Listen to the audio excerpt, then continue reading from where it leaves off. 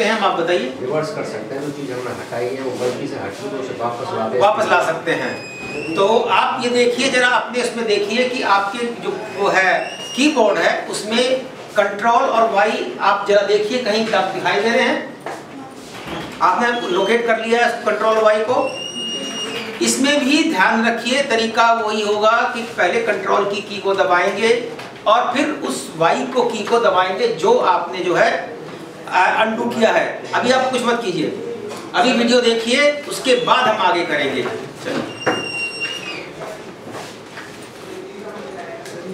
Redo undo के विपरीत काम करता है।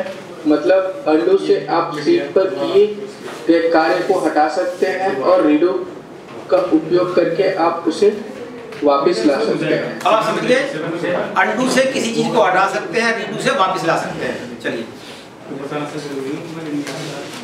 आइए अब वीडियो की मदद से रीडू करना सीखें अभी आपने अंडू करके तीन लाइन हटाई थी।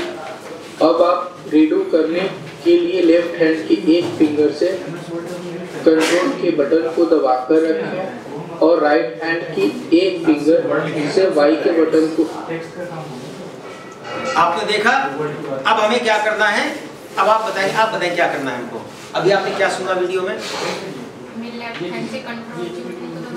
है वाई को दबाना है। तो कंट्रोल और वाई को दबाने से क्या होगा? क्या होगा आप बताओ। जो हमने पहले अंडू से मिटाया है वो वापस वेरी गुड वेरी गुड चलिए अब करिए आप सब करिए। एक बार करिए सिर्फ़ ध्यान रखिएगा एक बार करिए। जो आपने अब किया है वो आपके स्क्रीन पे आता है एक बार करिए। सब एक बार और करिए आपने क्या किया? इसको दबा के रखिए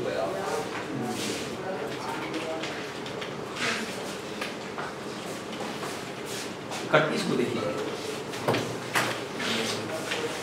प्रॉब्लम है इसमें कुछ नहीं सर उन्होंने पूरा सेलेक्ट और डिलीट कर लिया होगा। हाँ ऐसा हो सकता है।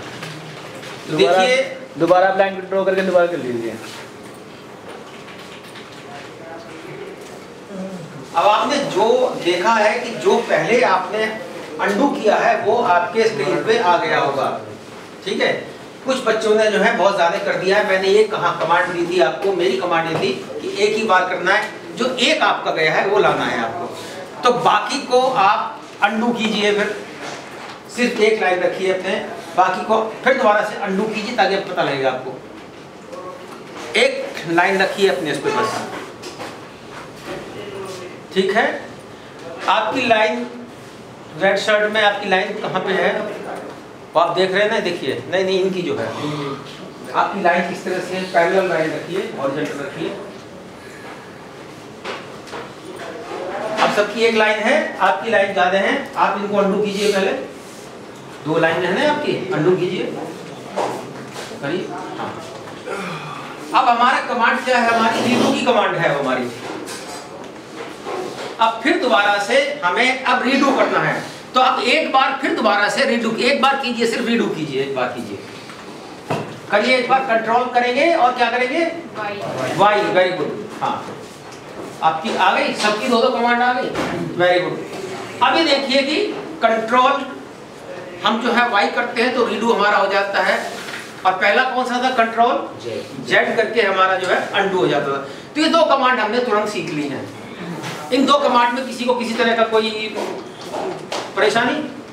नहीं चलिए। विंडो एक्सपी में कई सिस्टमों में अनडू रीडू करने पे नहीं होता है।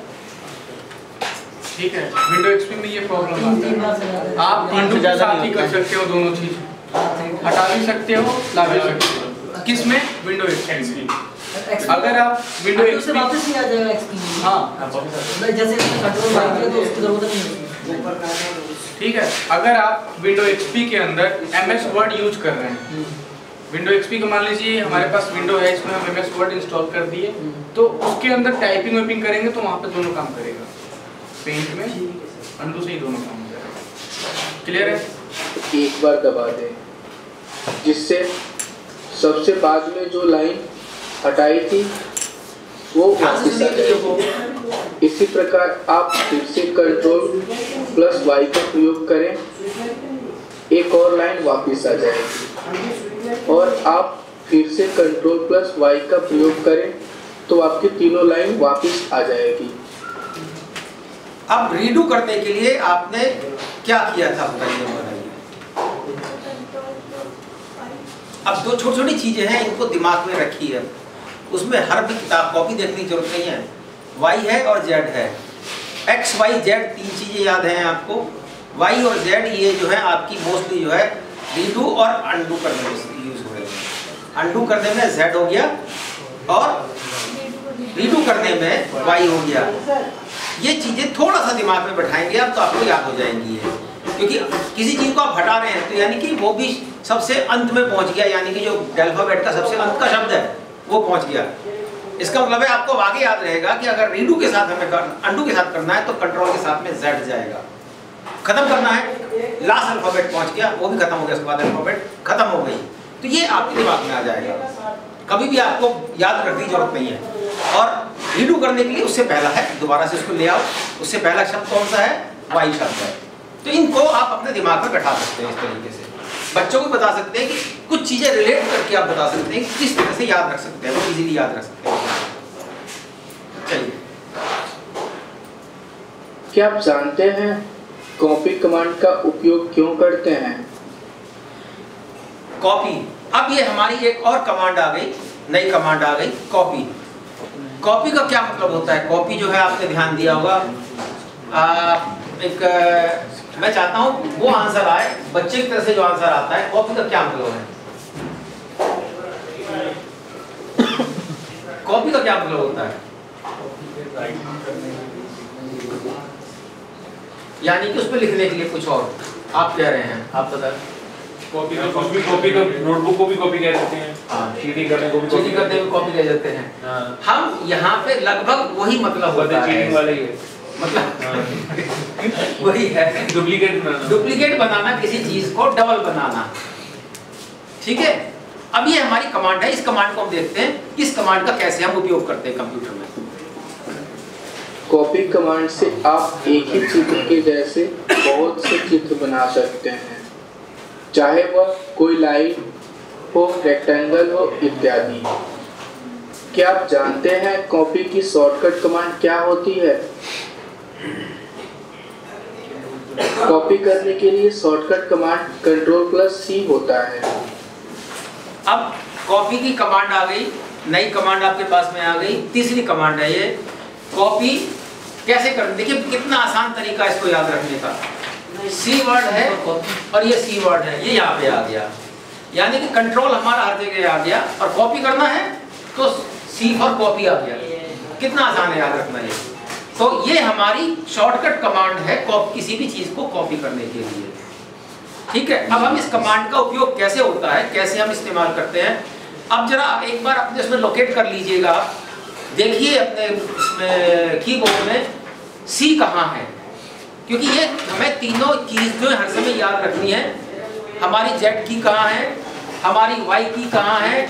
हमारी सी की कहाँ है? क्योंकि कई चीज़ों की हमें याद रखने की ज़रूरत पड़ती है। तो हमें, अगर हम कहते हैं सी कहाँ है तो हमारी तुरंत उंगली जो है वहाँ पहुँचनी चाहिए।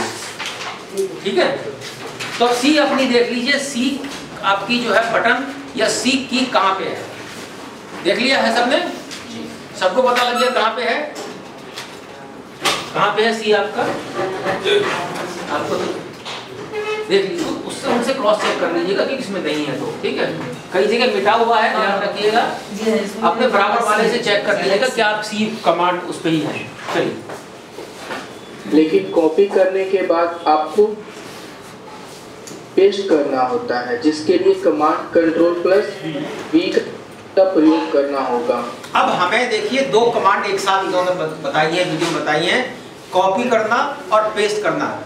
यानी कि जो हमने कहीं से कॉपी किया है, यानी कि उसको हमने कहीं से, हम यही कहेंगे, हमने मान लिया चीटिंग किया है कहीं से। अब उसको कहाँ ले जाना है? हम उसको कहीं पे दूसरी जगह ले जाना है। तो हम दूसरी जगह ले जाके उसको पेस्ट करने के बाद चिपका देना है ले जाके। यानी कि बिल्कुल वैसी ही चीज़ें जो हैं, दूसरी जगह जाके भी वहाँ पे चिपका सकते हैं हम। यानी कि उसकी दूसरी कॉपी बना सकते हैं हम। तो अब पेस्ट के लिए क्या कमांड है? कंट्रोल प्लस बी इसमें थोड़ा सा डिफरेंस है। यहाँ हम ये नहीं कह सकते कंट्रोल प्लस बी नहीं हमने बोला है। यहाँ पे हमने बी किया है। तो यहाँ इस कमांड को स्पेशल कमांड को हमें ध्यान रखने की ज़रूरत है। अब जरा आप बताइए, एक मिनट छोड़िए। अंडू के लिए क्या कमांड थी हमारी? जेड रीडू के लिए? कंट्रोल प्लस वाई और इससे पहले हमने कौन सी कमांड सीखी थी? इससे पहले कॉपी कॉपी क्या command control plus control plus C कैसे याद रहा आपको कंट्रोल प्लस सी क्योंकि वो कॉपी के वेरी गुड कंट्रोल की कॉपी का आपने वर्ड जो है वो ले लिया सी का वर्ड ले लिया तुरंत वो याद हो गया है। इसी तरह से यहाँ एक थोड़ा सा डिफरेंस है। इसको थोड़ा याद रखने की ज़रूरत है। ये पेस्ट का मतलब है कंट्रोल प्लस वी वी से आप कह सकते हैं भाई हमने पेस्ट कर दिया ना वी हैव द विक्ट्री हम जीत गए हैं हमने पेस्ट कर दिया है इसलिए जो है यहाँ पे ये कंट्रोल प्लस वी कर दिया है। वी आर द विनर तो हम विनर के रूप में देखते हैं अपने आप को हमने उस कमांड को आराम से कर, हमने कर दिया है। तो वी आर विनर तो इसके साथ कंट्रोल के साथ में विनर करेंगे तो आप जो है पेश कर पाएँगे उसको। चलिए। क्या आप जानते हैं ओवल क्या होता है? अभी मैंने क्वेश्चन पूछा था ओवल क्या होता है? अब हम यहाँ पे आ रहे हैं कि ओवल टूल कौन सा है? वो टूल किस जगह पे लोकेटेड है? ये हम आपसे बात करेंगे।